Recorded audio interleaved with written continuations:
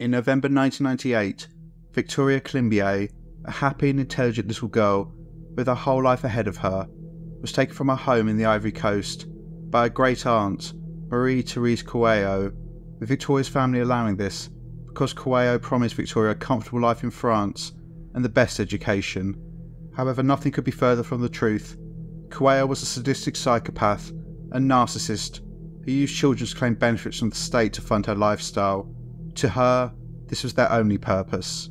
In April 2019, after racking up debts in France, Kouao relocated to the UK with Victoria, who, by this point, was likely already being abused. Quickly, Kouao met and began a relationship with a man called Carl Manning, an equally sick and twisted individual, and she and Victoria quickly moved into his flat in North London. It was here that for the last seven months of her short life, Victoria was subjected to the most inhuman and degrading treatment. She was bound, burned, scalded, starved, and beaten by Kouao and Manning, as well as being forced to sleep in a black bin bag filled with her own excrement and urine and this bathtub in the depths of winter without any heating or light. Her life of horror came to an end on the 25th of February 2000 at the age of just 8 years old, when her body simply gave up after months of torture and abuse. The pathologist noted 128 injuries on her tiny body described it as the worst case of child abuse he'd ever seen. There were at least 12 opportunities to save Victoria before her death. She had repeated contact with council workers, social services, and doctors, but no one did anything to save her. In court, the so called professionals in this case were called, quote, blindingly incompetent. The life and death of Victoria Climbié will break your heart, and how badly this defenceless little girl was let down will make your blood boil. Welcome to Evil Among Us.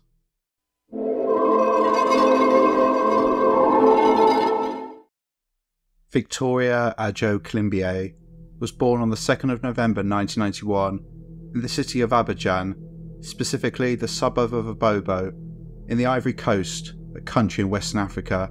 She was the fifth of seven children to her parents Francis Climbié and Mosi. The family lived in extreme poverty, and both parents wanted the best for their daughter. Victoria was described as a happy, caring, and intelligent child. By the age of six, she was proficient not only in French, the national language of the Ivory Coast, but also a local language to her region. Victoria loved to sing and dance, and was the entertainer of the family. She would always be trying to make others smile and laugh. However, she grew up in a country where women, at the time, had few prospects to fulfill their potential, with them being considered inferior to men and expected to adhere to specific gender roles. It's a country that has progressed significantly in the last 30 years, but in the 1990s, it was recorded that only around 30% of female adults and children could read and write. Shortly before Victoria's seventh birthday, in November 1998, a woman called Marie Therese Kouao came to visit the family. She was the aunt of Victoria's father Francis, making her Victoria's great aunt. She'd been living for a number of years in France and was back in the country, apparently for her brother's funeral. She spoke to Victoria's parents and explained to them, as an act of charity, She'd like to take Victoria with her to France, where she could receive a proper education. A barrister's public inquiry into Victoria's death years later gave this rationale why this offer from Kouao was so appealing. Quote, she was the head of the family at the time. She was a French citizen, apparently, from their perception, incredibly wealthy. One of the analogies is somebody offering you to send your child to Eton and Harrow and then educate them at Oxbridge. It was also reported at this same inquiry that children who grow up in poverty in Africa would quite often be sent to live with relatives overseas to get a better education. The offer seemed too good to turn down, and so it was agreed that Victoria would go with her great aunt and have the life she deserved. When Victoria was told the news, she was nervous but, quote, happy and excited, looking forward to seeing the sights of France, hoping to visit the Eiffel Tower and the Champs Elysees. She felt confident about fitting in because she spoke French. I want to say here early in the video, there was never any criticism of Victoria's parents during the inquiry. It seemed that they were loving parents who wanted the best for their children. They wanted Victoria to have the best life possible. That's why they made the decision they did. So please, no disparaging comments about them. As you'll see later, they got enough of that from the monster who took their daughter away from them. Anyway, unfortunately, Victoria had been given into the care of a pathological liar, psychopathic sadist, and narcissistic conwoman who had specifically targeted her own family with the aim of getting a child to take back to France to make as much money as possible by cheating the benefit system. Victoria was the little girl who fell into her clutches, and when she was no longer of use, she would be tortured, neglected, and eventually murdered just 14 months later in England, a country where she couldn't speak the language and where she was utterly alone.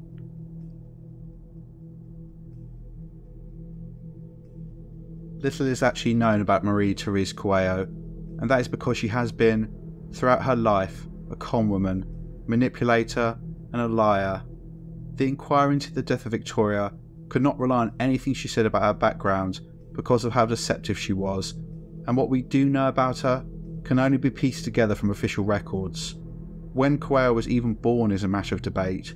She gave different dates of birth throughout her life, but it appears likely that this monster spawned onto this earth on the 17th of July 1956 in Bonoua, a town in southeastern Ivory Coast.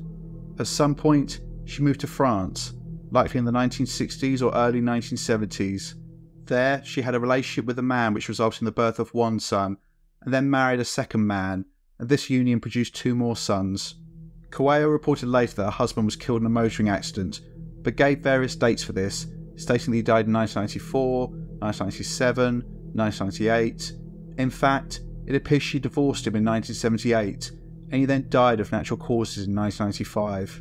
Similarly, Kouao cited various job roles throughout her life, including being an airport manager, but it appears that she was a leech on society, whose lifestyle was mainly funded with state benefits, and she would manipulate and lie in order to get as much money as possible. It appears the number of children she claimed to have fluctuated from three, a real figure, up to six or seven, with the number changing depending on what form she was filling in and how much money she could get. However, Kouao would not spend any of this money on anyone but herself. She would use the proceeds of her crimes to buy herself luxury clothes and handbags, helping her sell herself to others as a successful businesswoman, a woman of means. Everything in Kouao's life was about herself, maintaining her facade. She's an utterly self absorbed and heartless woman, and I guarantee, whilst not much is known about her background, by the end of this video, you will despise the woman she became, not just because of her crimes, but her utter remorselessness. Sometime prior to Kouao going back to the Ivory Coast and taking Victoria in 1998, she was in significant financial difficulties. It appears she was living well beyond her means in France and had racked up debts including rent arrears. She needed another child in order to have another source of revenue, to fund her shopping trips and give herself the standard of living she felt she was entitled to. Kouao gave various addresses as to where she lived in France over the years, and it seems as though, while some of these were inevitably false addresses, it shows how she operated. She moved to an area, racked up rent arrears, and then disappeared and moved on to the next place. Social services in France were involved with the family, however, I have no further details as to why. But, given what happened to Victoria, it's likely that her children were subjected to horrific abuse and neglect. Their only purpose was to benefit her. She was a mother in name only. In 1998, it appears that Marie Therese Kouao had concocted a plan to increase her income. She would convince an impoverished family in her native Ivory Coast to allow her to take one of their children back to France with her. She would then pretend she was the mother of this child, and this would open up more opportunities for her to rent the benefit system. In November 1998, she put her plan into action. Whether she was actually in the country for the funeral of her brother is unclear, but regardless, she used her time there to seek out a child to take back with her. Kouao approached a family she knew who had a daughter called Anna, and it appears they agreed for this child, who was around a similar age to Victoria, to be taken back to Europe, but the parents had second thoughts and eventually refused. However, by this point, Kouao had already obtained a false passport, which was in the name Anna Kouao and bore this child's picture. This document she was going to use to convince authorities that Anna was her daughter. So, she had a passport all prepared, but no child. Why Kouao targeted her own family is unclear. I imagine that she was desperate and thought through little girls she could potentially take back with her, who were around the same age. I think at that moment, she thought about Victoria and made an unannounced visit to her family in the hopes that she could convince them to let her take their daughter and tragically, she was successful. I've not seen the picture of Anna, but it's reported that she and Victoria did not look very alike and were only matched in age, so Victoria was sometimes forced to wear wigs in order to better resemble the picture. So, from that moment, Victoria Climbié became Anna Kouao, and this is the name she was known by until her death. It annoys me that some of the reporting in this case refers to Victoria as Anna. I don't know about you, but this feels disrespectful in some way, not using her real name, and referring to her by the name that this monster assigned to her. I'll avoid using the name Anna as much as I can. So, with a child and a passport now obtained, Victoria Climbié left the Ivory Coast in November 1998 and flew to France. She would never see her parents, her siblings, or her home ever again.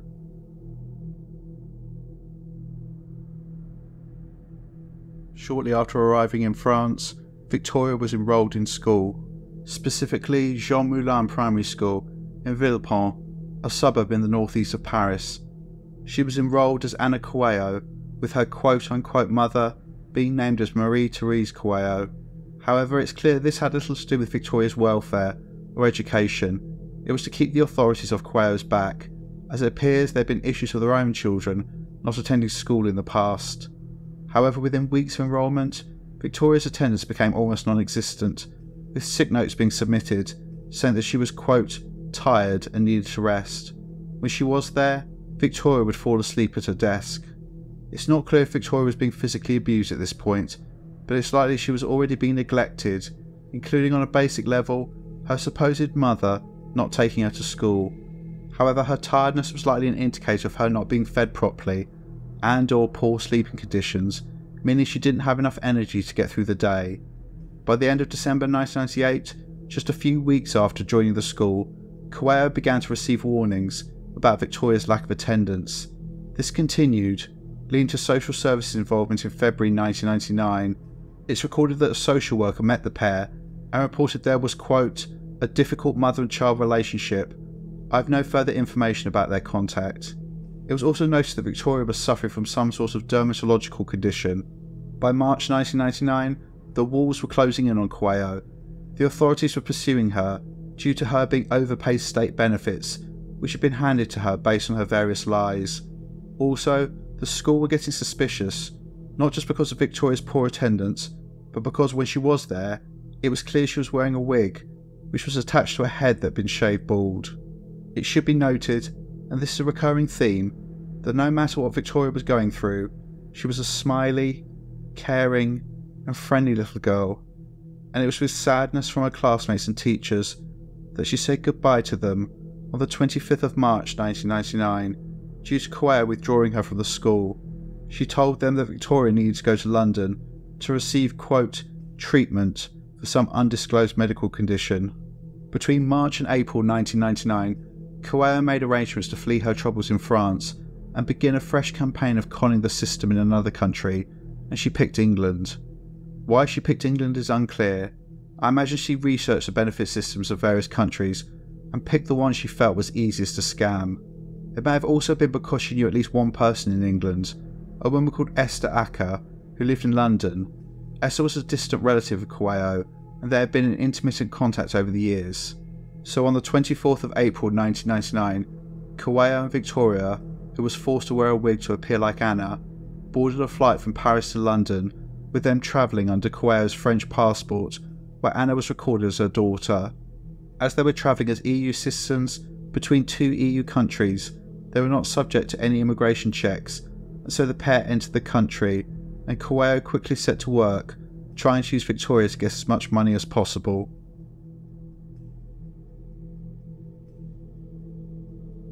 On the day they arrived in the UK, the 24th of April 1999, Marie Therese Kouao and Victoria Climbié travelled to a bed and breakfast in Twyford Crescent in Acton in West London. This was booked by Kouao just before the pair left France, and I imagine she was livid, having to spend money to get housing. She began to immediately look for ways to get anything and everything for free and line her pockets, using Victoria to get her own way. At around 4:30 p.m. on the 25th of April 1999, so around 24 hours after first coming to London, Kouao and Victoria turned up unannounced on the doorstep of Esther Ackah in Hanwell in West London. Esther was, as already stated, a distant relative of Kouao, who she had sporadic contact with over the years. Esther was not expecting the knock on the door, and was surprised when she found Kouao standing there with the small girl she introduced as Anna, her daughter. Kouao was clearly looking for people she could mooch off and rely on to look after Victoria when she was not serving her purpose of getting her to the top of the list for housing and additional benefits she wasn't entitled to. Concerns were noted by Esther immediately. She saw that Victoria was wearing a wig, and when this was removed, she found a bald child who had patches on her head. Also, it was noticed that Victoria was noticeably underweight. Just a break here quickly, this is will be relevant moving forward. London is split into different areas known as boroughs, each of which has an administrative body known as a council, who deal with issues as widely ranging as rubbish collection, to housing, and child and adult services. A few different councils will be mentioned during this video. This is because of the fact that Kouao and Victoria moved around to a few locations. So due to the location of the bed and breakfast they were staying in, on the 26th of April 1999, Kouao and Victoria presented themselves at Ealing Council, which covered the area they were in. Marie Therese Kouao turned on the waterworks, claiming she and little Anna were struggling to cope with the recent death of her husband, who had left them all alone in the world. She had managed to scrape together enough money to keep a roof over her and her daughter's head, but would soon be out on the streets. Because she had a young child, there was a priority to house her, something Kouao was fully aware of. The pair were then given temporary accommodation in a hostel in Nicoll Road, Harlesden, northwest London. They moved into this property on the 1st of May 1999, the council agreed to fund this accommodation whilst Kouao undertook the habitual residency test, which is an assessment to ensure that people who appear in the country don't instantly have access to benefits and instead have to prove they have an intention to reside in the country on a long term basis. In the short term, the council issued subsistence payments, essentially money to meet basic needs, until Kouao could sort out benefits payments or obtain a job. Throughout the month of May 1999, Kouao would repeatedly attend Ealing Council to collect payments intended to help parents living on the breadline feed and clothe their children. She would receive a payment on one day and then, 24 hours later, return and claim that her child was hungry and she needed more money. She also attempted to complain about the quality of her current accommodation and demanded to be given better housing. Of course, this self entitled monster was complaining, ignoring the fact she was being given free accommodation at the taxpayer's expense. No doubt, if she'd been put up in a five star hotel, she would still have been complaining. There was no champagne, or their state was medium instead of medium rare. It quickly became apparent where the money was going. Whilst Kouao was always immaculately turned out, it was noticed that Victoria seemed unkept, untidy, and unwashed. Between May and July 1999, Kouao would attend the council on 18 occasions. On almost every occasion, she'd be dragging Victoria in, using her as a prop to manipulate others into getting what she wanted. Those who saw the pair together say that Kouao showed no affection towards Victoria and was often extremely short tempered with her. Kouao was described as manipulative and controlling during her interactions with council staff. She would only listen to information she felt benefited her and act aggressively whenever she was challenged on anything, and especially when it was suggested she get a job to pay for herself and her daughter. There were no efforts to enrol Victoria in any school when she came to the UK, and the subsequent inquiry could find no evidence that, for most of her time in London, she had any friends or any real social interaction. She was likely, when not being paraded around in front of council workers, kept locked in the hostel. Victoria could not speak English, so she was likely completely isolated, alone, and confused for weeks at a time. When Kouao first started to beat Victoria is unclear. It's likely this occurred in some form soon after they left the Ivory Coast. However, whilst in the UK living at the hostel in Nicoll Road, residents had heard a child crying and a woman screaming and noises which sounded like a child being hit. On the 14th of June 1999, Esther Ackah, the relative of Kouao's, who had seen the pair the day after they arrived in the UK, bumped into Victoria and her quote unquote mother on the street. Esther was instantly concerned. Victoria was, despite the heat, wearing a long dress with only her face and hands exposed. Esther also noticed a scar on Victoria's right cheek, the result of an assault, likely with a belt, piece of wire. Kouao said that Victoria had been injured falling down an escalator. Esther didn't believe her and took it upon herself to check on Victoria. On the 17th of June 1999, she went to the hostel in Nicoll Road and was shocked by what she saw. She saw that Victoria was living in squalid and dirty conditions. She had no toys to play with, and it was clear that she'd lost weight. Getting closer to Victoria, Esther could see bruising on her body, as well as other cuts to her face. She also noticed urine soaked bedding and was told by Kouao that her daughter was having issues with bedwetting. Bedwetting is sometimes a sign of a child being abused, but we'll return to that issue later. Esther spoke to other people living at the property and was told about the shouting and crying that had been heard, as well as sounds indicating the child was being assaulted. The next day, the 18th of June 1999, Esther made the first of two anonymous phone calls to Brent Council, asking to speak to social services. This council was involved because of the location of the hostel being within their jurisdiction. Because of the number of calls to that department, the procedure was that a call handler would take a referral down the phone and then fax it to the relevant team. Esther raised concerns to the woman she spoke to, not only about Victoria's living conditions, but also about her physical appearance and the fact she was not going to school. Esther asked if an urgent visit could be made to the home. This referral was apparently faxed the same day to the relevant team, and then nothing. It apparently sat in a trace somewhere, with no one doing anything about it. Esther called back again on the 21st of June 1999, demanding to know whether something was being done. She was fobbed off by the call handler she spoke to, who said that the referral had been passed to the team responsible and they would action it. However, the reality was that the referral related to Victoria was not acted upon for three weeks and not entered onto any system until the 6th of July 1999. What should have happened is that when a fax was received related to a child protection issue, it should have been passed immediately to a duty manager to make an initial assessment and come up with a plan of action. At the inquest, it was determined that this was not the case at Brent Social Services. There was no procedure for checking whether anyone had received a fax. They simply lay in a tray, and when someone could be bothered to check, this is when it would be actioned. June 1999 is significant, not only because it represented the first opportunity to save Victoria, but because it's the month that Marie Therese Kouao met a disturbed man called Carl Manning, and this meeting of two evil minds would trigger the events that led to the torture and murder of Victoria Climbié just eight months later.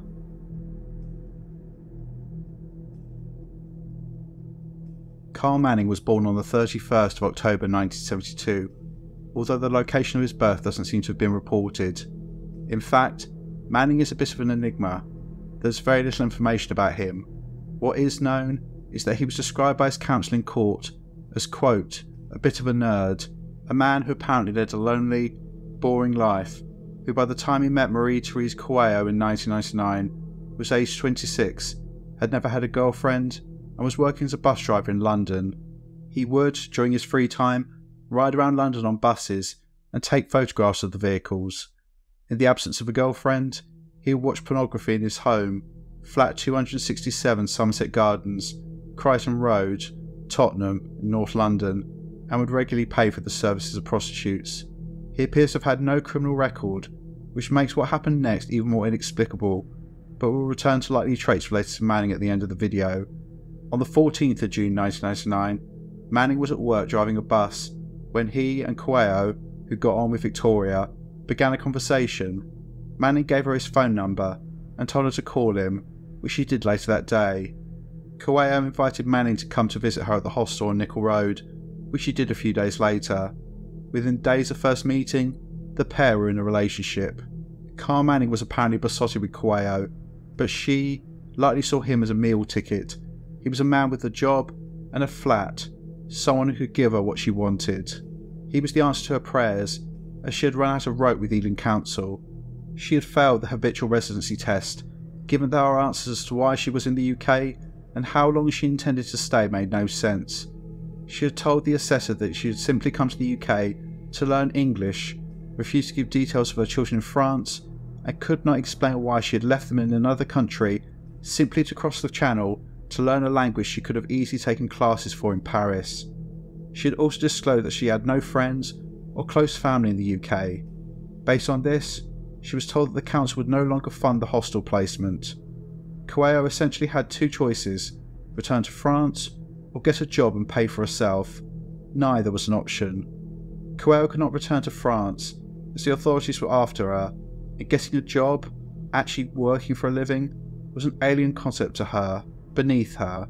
She firmly believed she should have money handed to her. Her plan was failing. Victoria was not as useful to her as she thought she would be, and her anger and vitriol towards this poor little girl who had done nothing wrong increased. Quickly, Kouao began turning Manning against Victoria, claiming that she was possessed by evil spirits. Manning later freely admitted to the police and in court that he hated Victoria, although known to him as Anna. He kept a diary which shows the level of evil of this man, with him referring to her as, quote, Satan Anna. So this man, and I use this term loosely, had decided this innocent child was apparently the spawn of Satan simply because of the ramblings of a deranged, psychopathic con woman.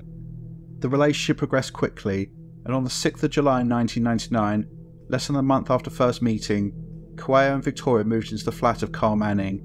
His simpering entries in his diary show how he'd immediately fallen for her, with him writing in his diary that, quote, It is great to be in the arms of the one you love.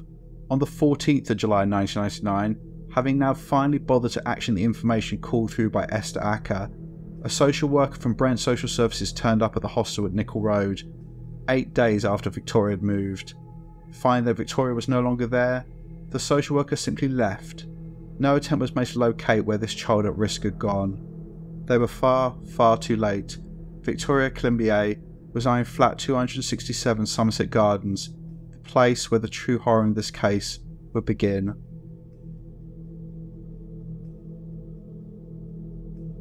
Please be warned that the last months of Victoria Climbié's life are truly disturbing, and I'll go into detail about what happened to her, beginning from this section of the video. So please, if this would distress you, then turn off now. Also, it's impossible to talk about her murder without highlighting the repeated failures to protect her, so I'll weave these two threads together during the remainder of the video. Also, it should be noted there were many professionals from various agencies criticised for their handling of this case, I've mentioned a few primarily because I think their decisions were particularly indefensible. So, whilst it's unclear the level of abuse that Victoria suffered before moving into Carl Manning's flat in July 1999, the horror of what she went through after this point is well documented is nothing short of heartbreaking. It should be pointed out that as well as Esther Ackah, there were two women, lights in all the darkness, who genuinely cared about Victoria, tried to raise the alarm, and save her life they were Priscilla Cameron and her daughter Avril Cameron. Kouao met Priscilla in around May 1999, where she briefly obtained a job at a hospital, although she was quickly dismissed when she failed to turn up. Throughout June and July 1999, Victoria would be dropped off every day at Priscilla's house to be babysat. She'd be left early in the morning, not collected until late at night.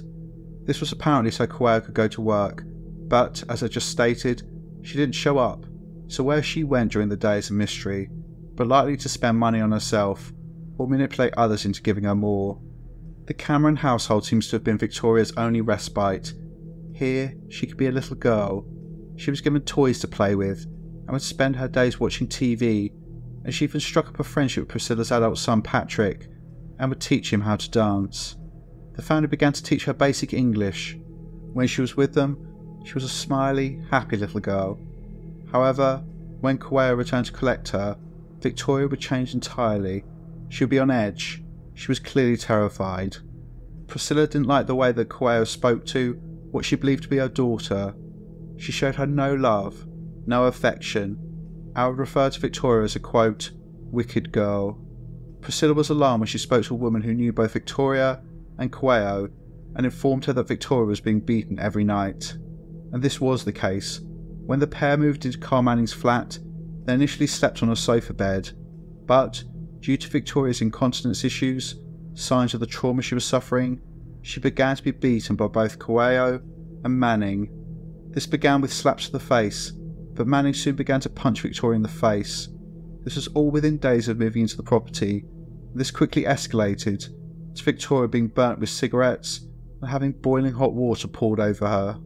During the evening of the 13th of July 1999, so just one week after moving into the property of Carl Manning, Victoria was dropped off at Priscilla's house unexpectedly. Kouao asked Priscilla if she could take the child permanently because Manning did not want her living in the flat anymore. Priscilla was concerned by this and said she couldn't take Victoria, but she could spend the night. Victoria came in wearing a baseball cap, when this was removed, Priscilla and her daughter Avril saw a burn the size of a 50 pence piece on her forehead. She also had injuries to her jaw, her eyes were bloodshot, and she had a loose piece of skin hanging from her right eyelid. They had no doubt that this little girl was being abused. Their concerns were highlighted when, during the night, Victoria was moaning in pain, and they noticed her face was swollen and pus was oozing from cuts on her fingers, which appeared to been made with a sharp object. The next day, the 14th of July, Avril Cameron took Victoria to the Accidents and Emergency Department at the Central Middlesex Hospital. Various doctors examined Victoria and were gravely concerned about her condition, with them being certain her injuries were deliberately inflicted. Brent Social Services and the police were called. They were so concerned that Victoria was placed under police protection, with a 72 hour protection order imposed to prevent her from leaving the hospital. If anyone tried to remove her during this time, they would be arrested. So Victoria was safe, surrounded by professionals, and the story should have ended there, but it didn't. The domino effect of utter incompetence meant that Victoria was returned to her abusers. Specifically, when Marie Therese Kouao attended the hospital, she was full of excuses. The injuries to Victoria were, according to her, due to her having scabies, an itchy skin condition caused by tiny mites burrowing into the skin. Because Victoria had this condition, she'd apparently been scratching so hard that she'd injured herself. As to the cuts on Victoria's fingers, oh, she would sometimes play with razor blades. It appears there were no less than 10 medical professionals who had concerns about Victoria's safety, but it was one doctor, Ruby Schwartz, who overrode everyone else. Dr. Schwartz was the consultant paediatrician and named child protection doctor at the hospital, so the head child doctor. Without even talking to Victoria on her own, and after only a short examination, Dr. Schwartz said that the injuries on Victoria were likely due to scabies, and therefore there was no evidence of neglect. Due to this one decision, Brent Social Services downgraded the level of concern in this case. There was one final safeguard the police. They had the power to continue the protection order if they were concerned and asked the doctor to re examine the case. What should have occurred was that the designated police officer speak to the child in question. However, the officer assigned to Victoria's case, PC Rachel Dewar, did not do this because she was apparently too busy.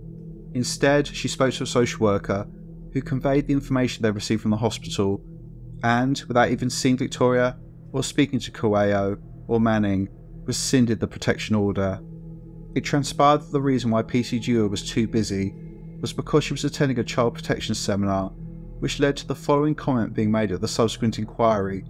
Quote, we will need to ask why it was thought more important for her to attend a seminar to learn how to deal with child protection cases than deal with the real child protection case for which she was responsible at the time. Due to this clusterfuck of decision making, Victoria Climbié was handed back to her abusers on the 15th of July 1999. However, she was now in an even worse situation. She had lost the comfort and security of Priscilla and Avril's home. They would never see the child they tried to protect alive again. Victoria was now even more alone than she was before. As soon as she was back at the home, the abuse continued. Victoria was beaten morning, noon, and night with shoes, belt buckles, coat hangers, wooden spoons, hammers, and bare hands. She was burned with cigarettes and had boiling water poured over her. Just nine days after being handed back to her abusers, on the 24th of July 1999, Kouao took Victoria to the Accidents and Emergency Department at the North Middlesex Hospital, so a different one from where she'd been the first time. She presented with significant burns, as shown by this horrifying picture, which had clearly been caused by boiling water being poured on Victoria's face. A nurse who bathed her saw bruises and abrasions all over the little girl's body, and marks showing that been beaten with a belt buckle, burned, and likely also bitten. The staff saw front and centre the fear that Victoria had for Kouao. On one occasion, when the latter visited the hospital, Victoria was seen to jump out of bed, stand at attention, looking terrified, and she then wet herself whilst Kouao sat on a chair berating her. Victoria Climbié spent two weeks in hospital, and this was the last peace and feeling of any security she would have during her short life. She became a favourite of many of the nurses and the doctors on the ward, who referred to her as a quote, ray of sunshine. She was able to communicate fully with another living person for the first time in months, as one of the nurses spoke French. Victoria liked to dress up, and was even clothes she could wear by the nurses and the doctors. She was also taken to see the babies in the neonatal ward. She was given sweets and treats, and her smiling face would light up the room. She was given a pair of Wellington boots, and was often seen dancing, with a huge smile plastered on her face, in the corridors of the hospital.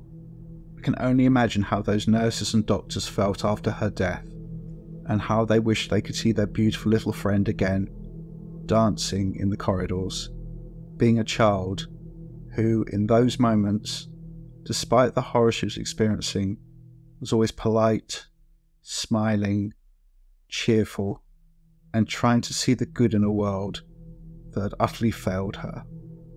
Despite being at a different hospital and having more extensive injuries than before, the same staggering level of incompetence was evident both by doctors and social services.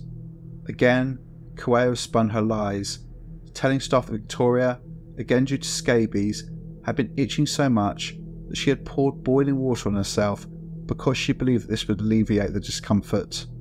One of the most inexplicable decisions in this whole case occurred at this point. Again, there seemed to be universal belief amongst all medical staff that Victoria was being abused. This was also the thought of Dr. Mary Rossiter, who was a consultant, so again an extremely senior doctor, and despite putting in the notes that Victoria was being abused, she wrote, quote, able to discharge, i.e., that she could be released from the hospital Dr. Rossiter was grilled on this during the subsequent inquiry and clearly tied herself in knots, trying to shirk responsibility for her decision. She claimed that she didn't mean she wanted Victoria to go home, merely that she was physically fit to leave the hospital. As was pointed out, this was complete bullshit, and it seems she admitted such, to a great degree, by stating that she believed that the police and social services would now take up the case and look into the home situation. So essentially, Dr. Rossiter knew this little girl was being abused, but decided it was someone else's problem. Victoria was discharged from hospital on August 2, 1999, and sent straight back into the arms of her abusers for the second time. The next time she would be in the hospital would be the time that she died. When Victoria was back home, the abuse escalated even further. It appears that each time she went to hospital, or there was any concern from professionals, she was punished.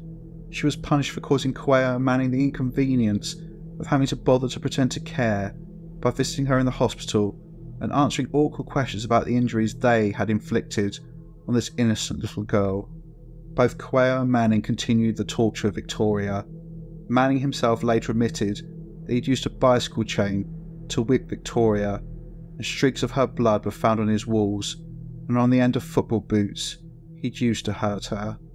Every part of her body was targeted, and these torture sessions would last for hours. Due to Victoria being in hospital, a referral was made to social services. This time, because she was living in Tottenham, North London, the duty fell to the social work team of Haringey Borough Council, and the case was assigned to a social worker called Lisa Arthurworrey, and her incompetence is probably the most staggering of all.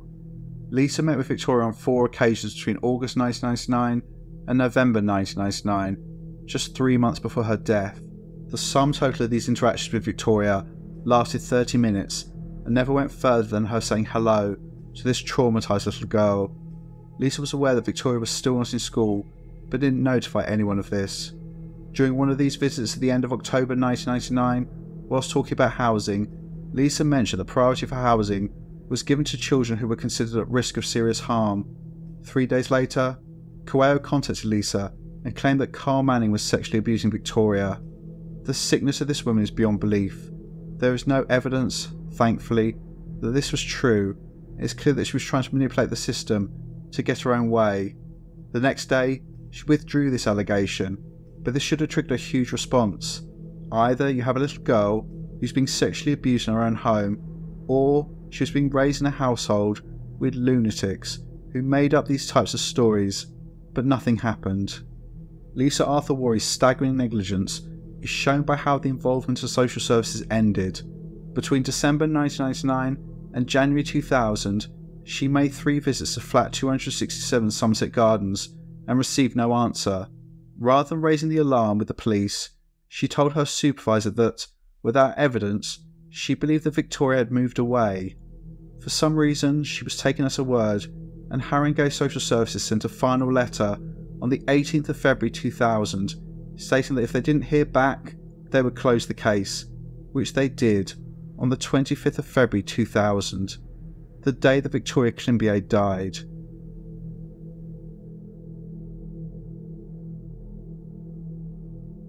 The last few months of Victoria Climbié's life were nothing short of horrific.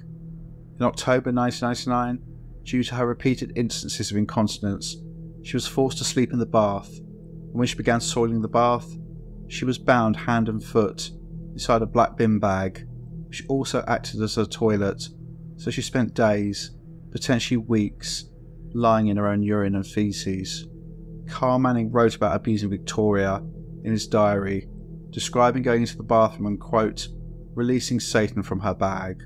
On the rare occasions she was fed, food was put on a piece of plastic and Victoria was forced to eat off it, like an animal.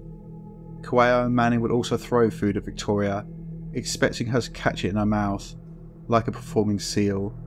It was likely that when Lisa Arthur-Worrey attended in December 1999 and January 2000, Victoria was mere feet away from her on the other side of the door, tied up in a bag of her own waste and locked in the bathroom, where she would sometimes spend days. The bathroom was unheated, and Victoria spent hours in darkness, shivering, suffering from starvation and hypothermia. The beatings continued every day. Victoria was beaten in the bath, dragged out of the bath, thrown on the floor, and beaten whilst trying to protect herself by these two monsters who had her in their absolute control. On her eighth and last birthday, in November 1999, and whilst the rest of the world was ushering in a new millennium the next month, Victoria Climbié was totally forgotten, likely tied up in the bath, in absolute agony and absolutely terrified. By the turn of the century, she'd been abandoned and let down by everyone social services, police, and even senior doctors she was completely on her own. This defenceless eight year old girl, Victoria Climbié, continued to suffer unimaginable torture throughout January and February 2000. Conservatively, it's believed that she suffered approximately 120 days of almost constant abuse before her death. That's 2,880 hours. I can't even imagine that level of horror. She became weaker and weaker as her body began to give up due to the repeated physical abuse, squalid living conditions, malnourishment, being forced to live in her own waste. On the 24th of February 2000, Victoria was dying, and in the last hours of her life. Rather than calling an ambulance, Kouao took the unconscious child to her church, the Universal Church of the Kingdom of God. This was a church where Victoria had apparently been dragged to before in order to exorcise her of evil spirits Everyone there knew what was going on, but did nothing. Rather than anyone calling an ambulance, the pastor told Kouao to call a taxi to take Victoria to hospital. When the taxi driver showed up, he was horrified by what he saw. A child beaten black and blue unconscious in the back of his cab, with her mother apparently completely indifferent. Instead, he raced to the Tottenham ambulance station, where he knew he could access help quickly. The ambulance crew stationed there took one look at Victoria and were horrified. They knew if she was not rushed to hospital immediately, she would die. Victoria was raced by ambulance to the North Middlesex Hospital. During the journey, Kouao was apparently screaming, quote, My baby, my baby, whilst holding Victoria's hand, but the ambulance crew later testified there were no tears and it felt like a performance. Victoria was immediately transferred to the intensive care unit at St Mary's Hospital in Paddington and put on life support. Victoria was malnourished and had deep hypothermia. She was covered in bruises, cuts, and burns, some recent, some months old. Her body was shutting down. Doctors tried everything they could to save her, but at 3:15 p.m. on the 25th February 2000, 8-year-old Victoria Climbié died.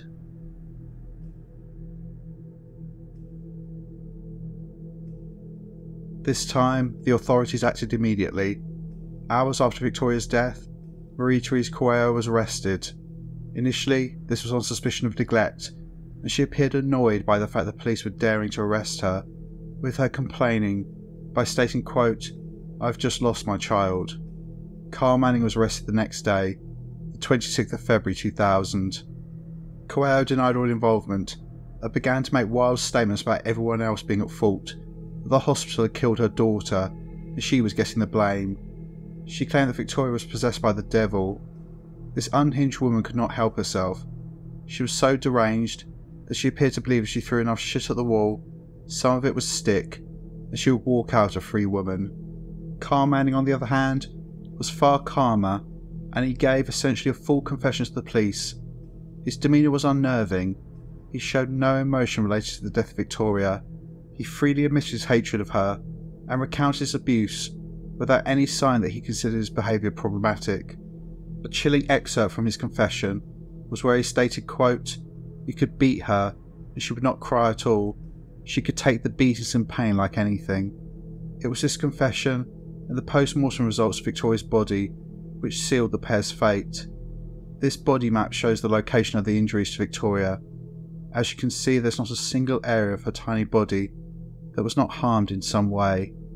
In total, the pathologist reported there were approximately 128 separate injuries. This included burns, many of which were caused by cigarettes, bruises, cuts and abrasions. There were also areas of untreated infection, and her body was covered in sores, resulting from submersion in her own waste, being bound in a single position for days at a time. There were injuries which resulted in scars, meaning they were months old, and fresh injuries, which were inflicted in the days before Victoria's death. She was malnourished and weighed less than half of what she should have done. In her last days, Victoria would have been in so much pain, slipping in and out of consciousness as her organs shut down and her life ebbed away. It was determined that it was hypothermia which had eventually killed Victoria. She had died cold and alone. Carl Manning's confession and the results of the post mortem were enough to charge he and Marie Therese Kouao with the murder of Victoria Climbié, and they were both remanded into custody.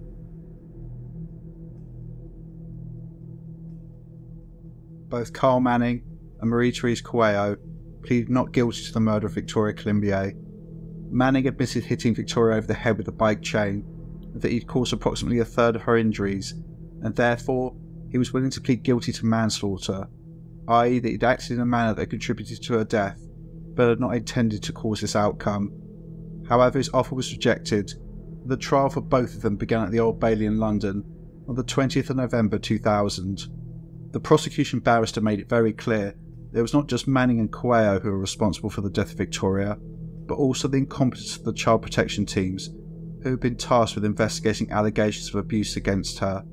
Their behaviour was described in court as, quote, blindingly incompetent. This was a clear signal that, once these two pieces of shit had been dealt with, others needed to be held accountable for their role in this totally avoidable tragedy. Kouao was defiant in court she was rude, arrogant, remorseless, and essentially accused others, including the hospital, of killing her daughter, despite it having already been established that Victoria was not her daughter and simply a child she was presenting as such. However, as with the police interview, it was Carl Manning who sealed the fate of both of them. He gave evidence where he admitted physically assaulting Victoria and also stated that Kouao had done the same thing. How he thought this was any sort of defence is anyone's guess. On the 12th of January 2001, both of them were found guilty of the murder of Victoria Climbié. Later that same day, they stood before Judge Richard Hawkins for sentence. He stated that the torture that Victoria had endured was, quote, truly unimaginable. She died at both your hands, a lonely, drawn out death. He then sentenced them. For the murder of Victoria Climbié, Marie Therese Kouao, and Carl Manning was sentenced to life imprisonment. I've been unable to find how long their minimum tariff was set for, but both of them, over 22 years later, remain firmly under lock and key.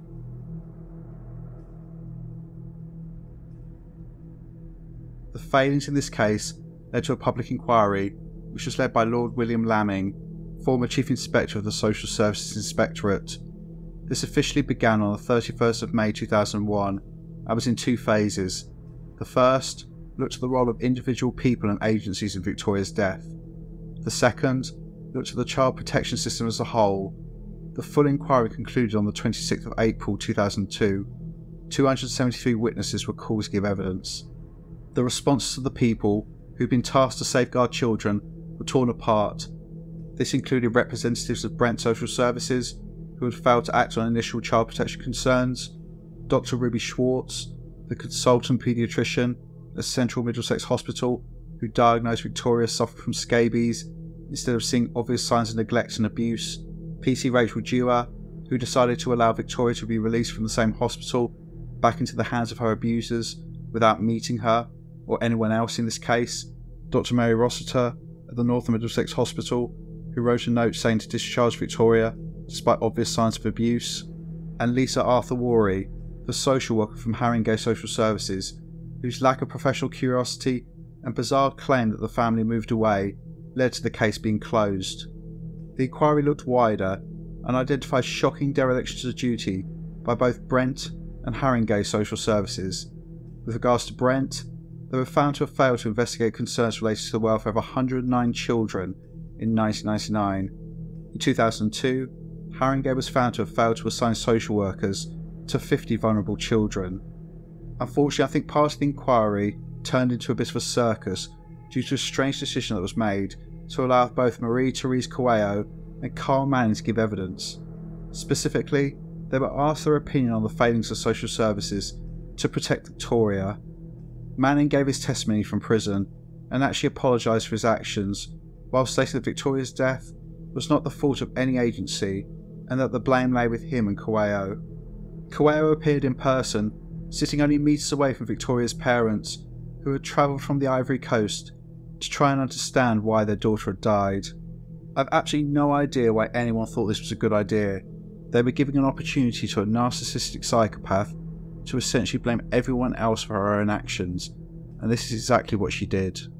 At times shouting in French and in broken English, Kouao ranted and raved. She berated Victoria's parents, stating, quote, They did not love their little girl like me. She also described herself as, quote, a pure innocent person, and claimed that no crime had been committed, before rambling on about utter nonsense. This included her claiming that the hospital staff had actually killed Victoria by injecting her with the wrong medication and claiming the photographs of her injuries had been doctored. When told essentially to shut the fuck up and threatened with further prison time, she responded, quote, You're telling me that if I do not answer these questions, you'll add another six months to my prison sentence? How can that possibly affect me? I'm already doing life. I'm a pure innocent person in prison. No one wants to know the truth. I am not horrible. God is witness about this. That is why I stopped believing in God. Victoria's parents showed a level of calm and stoicism that I would not have been able to muster. Berthe, Victoria's mother, stated, quote, It's been extremely difficult. I have no remorse for her or the crime she committed because of the lies she has been telling. She keeps on repeating that she did not kill my daughter. The question I must ask her is where is my daughter now? If Marie Theresa loved my daughter, she would be in my hands today. The 400 page report into the death of Victoria Climbié was published in January 2003. It was a scathing rebuke of individuals and agencies. It recommended over 100 changes to the child protection system in the UK, essentially a complete overhaul, in order to avoid something like this happening again. It recommended, amongst other things, better training, national databases to ensure children didn't fall through the cracks, as well as specific and robust procedures responding to child protection concerns. So, what happened to the people identified as being accountable for their role in this tragedy? The answer is not a lot. Dr. Ruby Schwartz was charged by the General Medical Council with serious professional misconduct, but this was dropped in 2004. In 2012, it's reported that she was still working as a paediatric doctor and had secured herself a permanent position paying £60,000 a year. Similarly, Dr. Mary Rossiter was charged by the GMC with misconduct, but this was dropped and she faced no consequences. PC Rachel Dewar faced misconduct proceedings due to her failings in this case, but was allowed to keep her job in the Metropolitan Police. To be clear, I've highlighted her involvement, but there were five other officers who were also criticised. They too all kept their jobs. Lisa Arthurworrey was fired from her job as a social worker in November 2002 and banned from working in social care ever again. She lodged an appeal, but this was denied. In December 2006, she found herself on the wrong side of the law when she appeared in court for harassment. She was convicted of subjecting a female neighbour of hers to a two year campaign of abuse. This included verbal abuse, but also her writing threatening letters accusing this woman of being in a paedophile ring. You would have thought that would have been the end of that, right? No. 2010, Lisa appealed again against her ban from working in social care, and this was successful. This was despite her original negligence, the fact she now had a criminal record, and the fact she had not disclosed this during the appeals process. This ruling meant she could apply for social work positions again. It didn't mean she would get them, but at least she could apply. She spoke at the time about resuming her career.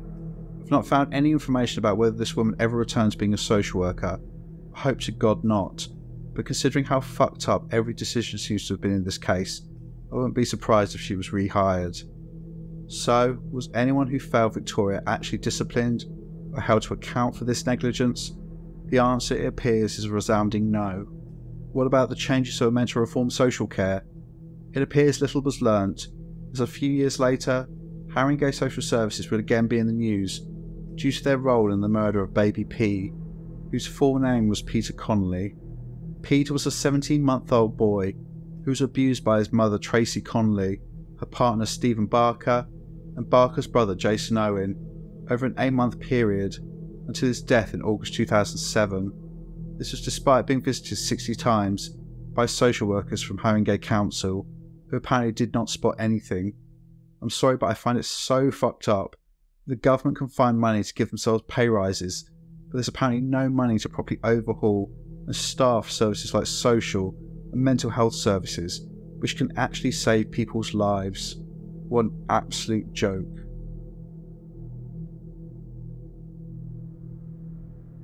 The case of Victoria Climbié has haunted me ever since I heard about it many years ago. I can only imagine the horror this little girl went through in her final months. I remember exactly where I was and what I was doing on New Year's Eve 1999, and I find it hard not to imagine, whilst I was out having fun, she was shivering, cold, alone, and tied up in the bath, with no one protecting her, entering the final months of her life.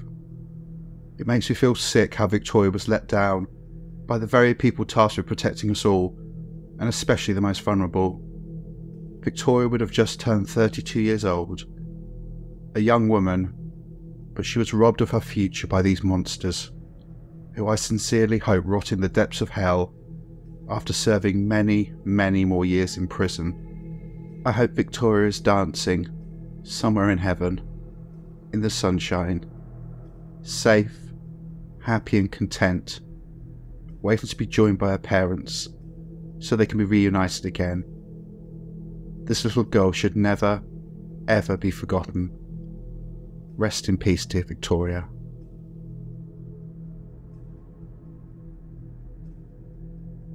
We all need to learn from situations like this and all look out for each other. So I think it's important to highlight signs to look out for, which may indicate child abuse, so we can all look for the signs together. And also, I want to talk about what to do with these concerns. Again, as with previous videos, this is not an exhaustive list, and please feel free to add further things to look out for in the comments. So I've divided this into two sections, what I would call obvious and more subtle signs of abuse.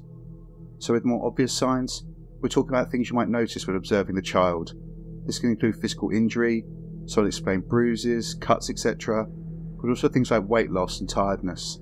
With regard to physical injury, this could clearly indicate that the child is being physically assaulted, or in some cases, potentially injured in the crossfire where one of their caregivers is assaulting the other. Regardless, this suggests an unsafe environment for a child. With regards to weight loss and tiredness, both can be indicators that the child is likely not being fed well, which is a common side of neglect. Other signs of neglect include a child being untidy, wearing dirty or old clothes, and smelling like they haven't washed in some time. With regard to more subtle signs, it's important to observe how a child acts. As I stated in a previous video, signs of sexual abuse are often noticed in children because they begin to display inappropriate and sometimes sexualized behavior towards themselves and on themselves. They may be replicating behavior they've seen or been a victim of. The same can also be true of violence. If a child is being aggressive towards others, this could be them replicating what they themselves have seen or potentially been the victim of. There's a concept known as regressive behaviour, where people, including children, who are exposed to continuous and extreme stress, cope with this by reverting to a time in their lives where they felt more secure and in control, and they begin exhibiting this type of behaviour. So, in the case of children, some who are abused will start displaying behaviour that does not match their chronological age. For example, they may start employing baby talk, sucking their thumb, having temper tantrums, or becoming incontinent. This doesn't necessarily mean that a child is being abused, but it can indicate some level of stress in their lives which they're struggling to cope with. Also, it's important to observe how a child acts around people. If a child is fearful of someone, they will often show this, usually not verbally, but by how they behave. If a child is happy and playful one minute, but when someone they should trust turns up and they suddenly change, becoming withdrawn or shying away, there may be a serious issue in the home. In terms of what to do with your concerns, I'm going to mainly speak about supporting the UK for now. The first and best option is to call social services. To be clear, there are good social workers and there are bad social workers. I'm not going to pretend otherwise, but the absolute worst thing you can do is think, oh well, social services are useless. What's the point of calling them? You have to try. If you don't try, nothing happens.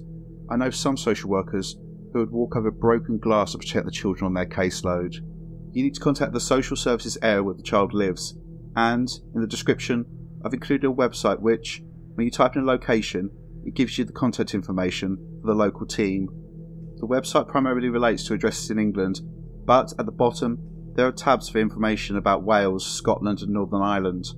Also, if you don't feel comfortable speaking to the council directly, or you don't know who to contact, you can call the NSPCC, the National Society for the Prevention of Cruelty to Children.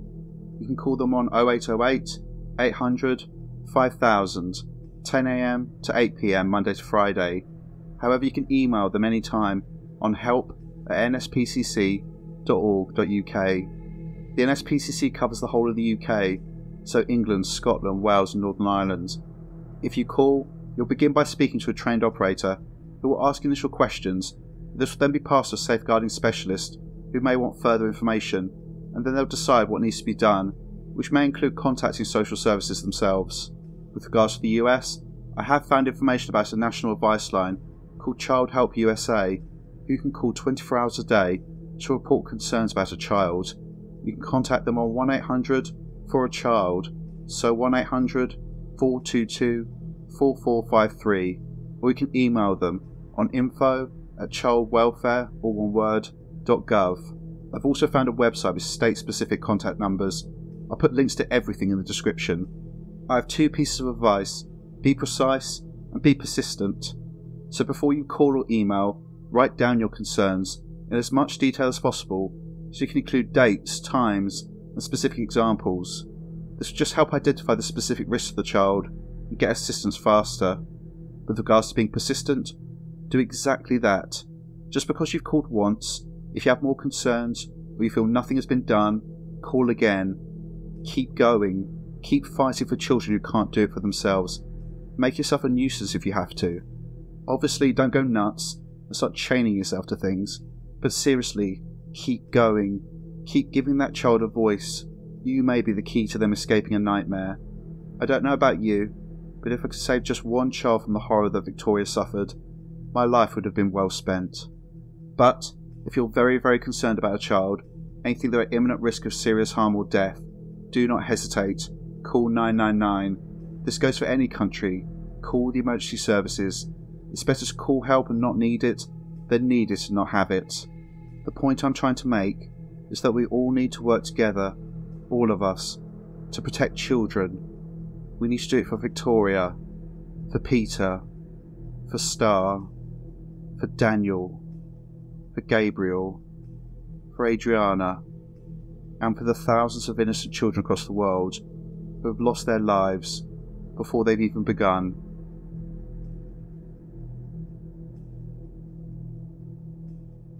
In order to understand the crimes of Marie Therese Kouao and Carl Manning, we need to look at them separately, but then look at them together. So, beginning with Kouao, this woman is inhuman. She's the epitome of a narcissist. She's clearly an individual whose whole life revolved around making game for herself, and she was willing to use absolutely anyone in order to do it. I imagine that she was a con artist since she was a child, and was likely a thief from a very young age. Her life was nothing more than a series of lies to manipulate others around her so that she could get whatever she wanted. We know nothing about her childhood, but considering the disturbed woman she became, I imagine it was truly horrific. Kouao was clearly a psychopath, someone with no empathy or remorse for her behaviour. No one else matters apart from herself. She's a woman without conscience. The extent of her willingness to use others for her own ends is shown by the fact that she had no compulsion about taking a child with her thousands of miles away in order to cheat the benefit system of whatever country she was in. Initially, she targeted one child, but when this fell through, she decided to approach her own family, knowing that, due to their abject poverty and the fact they wanted a better life for their daughter, she could easily manipulate them into allowing Victoria to go with her to Europe. To Kouao, Victoria was not a little girl with her own emotions, feelings, dreams, a pure heart. She was simply a thing. She was essentially a bank card, a way for Kouao to fund her lifestyle. Clearly, Kouao, as with other narcissists, thought she was the cleverest person in any room, and that all she had to do was cry and wave Victoria around, and the money would flow, and she'd be given free housing, a cushy life, and could continue to contribute nothing to society. However, things went wrong. There are rules specifically set up in most countries to stop people like her leeching off the state. When she came to the UK, the situation was no different, and quickly, the mere presence of Victoria was not working. Kouao, a woman who has absolutely no ability to take responsibility for her own life and her actions, inevitably blamed Victoria for the fact that she was not able to scan the system. How dare this little girl be of no use to her? Everything was her fault. So Kouao was left in a situation where she now had a child she felt nothing for, and rather than them giving her things, she was now expected to actually look after them. How dare society and this child even consider that a possibility? I'm sure that Kouao felt aggrieved by the fact her plan was not working, but I think, going deeper, this felt to her like a narcissistic injury. She believed herself so clever, and she was struggling to manipulate and get her own way. This likely left her feeling powerless and very foolish. Victoria was a perfect way to make herself feel better. Abusing this little girl likely made Kouao feel in complete control, knowing there was nothing that Victoria could do. She had no one in the country and couldn't speak the language. The incompetence of professionals no doubt emboldened Kouao. She had literally poured boiling water in Victoria's face, and no one had done a thing. She inevitably felt untouchable. She could do whatever she wanted to this little girl, and no one would stop her. No doubt seeing Victoria in pain, dictating when she could and could not eat, and treating her like an animal gave Kouao a sadistic thrill. The evil of this woman cannot be understated, and it's demonstrated not only by the fact that she killed Victoria, but she had the nerve to stand up in front of her parents and claim that she loved this child that she murdered more than them. I'm sure Kouao was always on the lookout for some idiot that she could manipulate and control, bleed dry, and then lightly move on. To this end, she began a relationship with Carl Manning. I find Manning a really fascinating but horrifying individual all at the same time. In court, his defence made the claim that he'd been beguiled by Kouao and that she was the sole reason why he became a child killer. I don't believe this for a second. Yes, I think the influence of Kouao was very significant, but I believe wholeheartedly that Carl Manning was a dangerous man before he even met her. Why do I think this? Well, a number of reasons. Firstly, I find no credibility in the idea that a regular person, if approached by someone who suggested torturing a child, would go, Yeah, alright. Clearly, there was something already very dark and disturbed in Manning before he even met Kouao. She simply nurtured and built on this, she did not create it.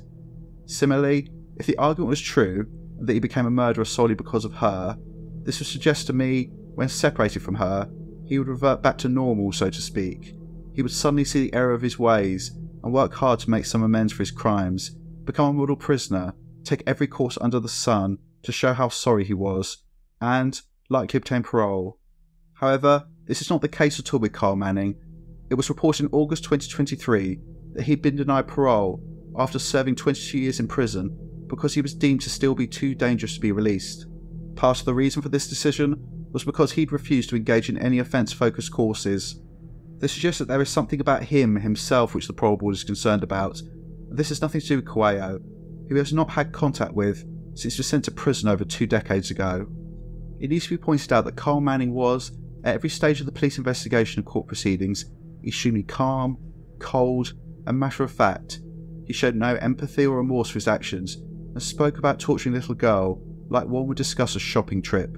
Carl Manning, I've little doubt, like Marie Therese Kouao, is a psychopath, a man without conscience or any real ability to feel sorry for his actions. He's refused to engage with various courses in prison because he likely doesn't even really understand what he's done wrong. Whether he had any previous history of violence which was not reported, or had these types of fantasies, we will never know. But, given how isolated he was, I think that he was a man who felt inferior, potentially angry at his loss in life. Abusing Victoria likely made him feel, for the first time in his life, powerful and in control. However, I think that abusing Victoria was a way for him to impress Kouao, with him equating love with violence. The more he hurt Victoria, the more likely Kouao would stay with him. Psychopaths are very rare in society, and dangerous psychopaths even rarer still, so it seems incredible that these two dangerous people met, apparently by chance, in a city of almost 9 million people. But this improbable meeting of two evil minds did occur, and Victoria died as a result. There's some mention in the reports I've read where both parties seem to state that Victoria was possessed by evil spirits. I'm not going to comment too much on that. I think potentially this was just a way for them to dehumanise Victoria, making her out to be a demon so they could justify torturing her. Ultimately, regardless of why these two did what they did, they, in my opinion, should never see freedom again. I hope with all my heart they are never released and die alone and forgotten behind prison walls. Life in this case, I believe, should mean life. Please let me know your thoughts about this case in the comments below. You guys know how to support the channel, and I thank you for watching, but I want to ask you to visit the website for the Victoria Climbié Foundation, a non-profit organisation whose mission goal is to campaign against child abuse. It was set up by Victoria's parents so that their daughter was not forgotten, and to try and save even just one family from having to go through the pain they've been through. The foundation offers a number of services, including working with community groups and other agencies to help identify indicators of child abuse. They also support families of children who have died as a result of neglect or abuse get through the court process. Again, as I've said several times before, these types of organisations should have funding thrown at them, but unfortunately, they have to rely on people donating their time and money. If you can do either, please do so. The link to this website, along with everything else I've mentioned, will be in the description. Anyway, take care, and I'll see you in the next one.